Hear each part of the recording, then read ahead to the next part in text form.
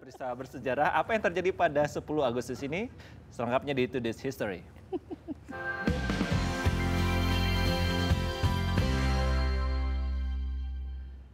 ...1937, gitar elektrik pertama dipatenkan. Pada tanggal 10 Agustus 1937, gitar listrik pertama dipatenkan Ya, rancangannya oleh George Boham tersebut diproduksi oleh Rickenbacker Electro dengan nama resmi model E22.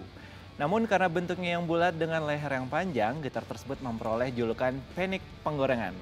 Wow. Pada tahun 1930-an, musik Hawaii digemari secara luas di Amerika Serikat. Gitar menjadi instrumen melodi utama pada musik Hawaii, namun sayangnya suara gitar akustiknya tidak cukup keras untuk dapat menjangkau halayak yang lebih luas apabila tampil di atas panggung.